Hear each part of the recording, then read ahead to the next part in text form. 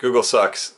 I hate it. I hate that there's no viable alternative. I hope they get, um, I hope they wind up, wind up being regulated as a public utility. I hope they get their balls cut off. In the meantime, I have to deal with them. So all of a sudden, continuous scrolling turned on in Chrome on, on the Google site.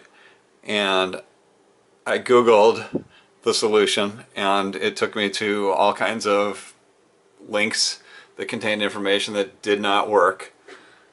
So I'm making this video to give you the URL that you need to go to to turn off continuous scrolling.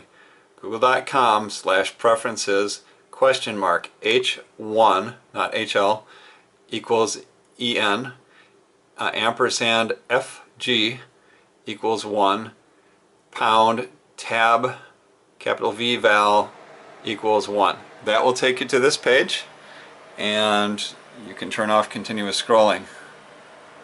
Fuck you Google.